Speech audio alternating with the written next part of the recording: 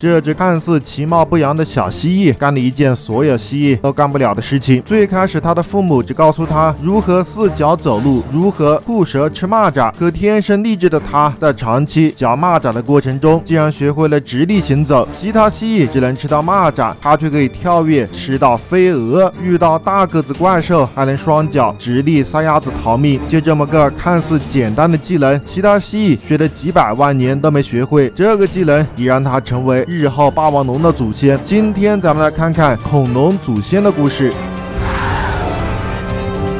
当所有生物在海里厮杀的时候，那些长着钳子、全身带壳的原始动物成了海洋霸主。为了生存，第一只长着脚的鱼诞生了。经过长时间的适应，它成了第一只在陆地行走的两栖动物。接着，它们丢弃鱼尾，进化出了扇子一样的背鳍，不为别的，只为看上去更加高大。后来，它们体型慢慢变大，成了强悍的巨型蜥蜴。那时的陆地连成一片，被称为盘古大陆。陆地的中心点是地球。史上最大片的沙漠，西伯尼亚背龙是沙漠中少数的庞大体型生存者。你绝对想不到，它是乌龟进化而来的。靠着坚硬的皮肤，它们可以耐受炎热。虽然可以好几个月不喝水，但是它们有一个致命的弱点，那就是皮肤坚硬，行动缓慢。后来沙漠中出现了一种叫狮鼻兽的家伙，靠着更快的速度、更强壮的身体，他们欺负与自己个头相当的背龙，最终取代背龙，成为当时的大陆霸。主之所以能成为霸主，最大的原因是因为他们是最先进化出犬齿的动物。这就好比其他动物用石头，它却学会了用刀子。靠着犬齿，它们统治大陆的时间长达几百万年。随着火山活动，气温上升，沙漠不断扩大，陆地的水越来越少。犬齿再厉害，也干不过干旱与炎热。那时的地球陆地沙漠不断扩张，大多数动物都被干旱杀死，活下来的狮皮兽也在苟延残喘。极端的气候中，一种叫双齿兽的小型爬行动物具有先天优势。它们生活在阴暗潮湿的地下，靠着时不时在地上捡食残肉过日子。实在没东西吃，它们也啃树枝。靠着发达的听力系统，即使在地下，它们也能知道地上发生的事情。曾经，它们也想和狮比兽干架，奈何干不过人家。后来，它们也想通了，干不过人家就猥琐发育，整天在地下打洞，疯狂生崽。没有肉吃就啃树枝，这种战略。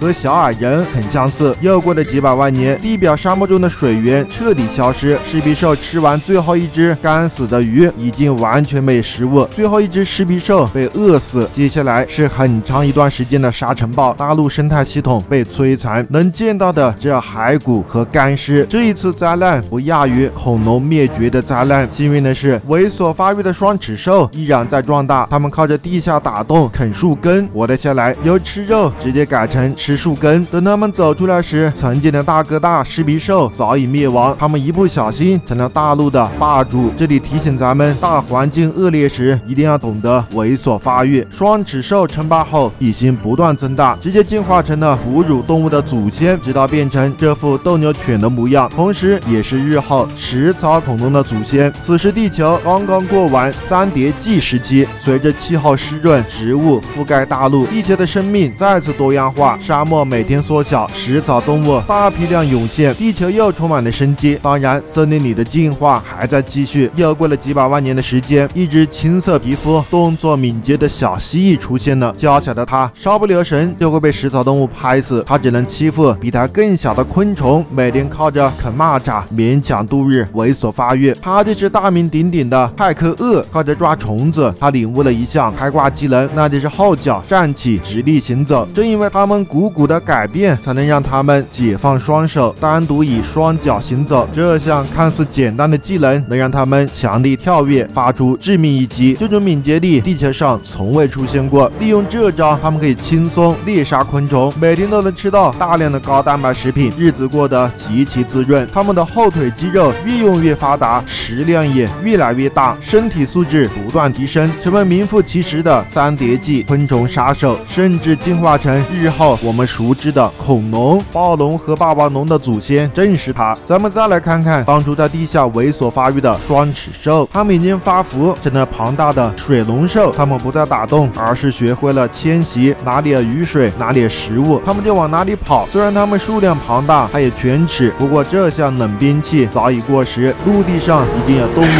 进化出了毒液，轻松一口就能将庞大的水龙兽放倒。同时，在河边日后称霸河运几亿年的霸主也出现了，那就是盘踞在河边的鳄鱼祖先加斯马土龙。与现在的鳄鱼不同，它们还是大长腿。机智的派克鳄在一边观察着它们，时不时还会出现挑衅下，情况不妙就赶紧撒丫子逃跑。猥琐发育那是王道，加斯马土龙想去追，那也奈何不了人家。随着鳄鱼祖先加斯马土龙的壮大，水龙兽的数量在急剧减少。至于鳄鱼的大长腿为什么会退化，估计和他们当上河道霸主后不喜欢跑步有很大关系。水龙兽的犬齿渐渐失去战斗力，呈哺乳动物形态的爬行动物也逐渐减少，最终只剩下我们的祖先。而小小派克鳄踩在水龙兽的身上，进入了一个新纪元。它们渐渐成了陆地上的王者。它们拥有四肢生物的快速爬行能力，也有直立时大型生物的视角。在几百万年的称霸进化中，最终长成了后面我们所熟知的恐龙。而它们将会在未未来一亿七千万年的时间中统治地球。进化是一件很有趣的事情。爬行动物的祖先干不过螃蟹，就选择拿陆地猥琐发育，成为了大陆霸主。双趾兽干不过狮鼻兽，选择的在地下猥琐发育，成为了日后的霸主。而小蜥蜴靠着勤奋与猥琐发育，学会了用后腿直立，也成了恐龙霸主。这个故事告诉我们，想要变得强大，那就得猥琐发育，直到学会碾压技能。每天不小电影，欢迎大家的关注。本次频来源科幻电影与巨兽同行。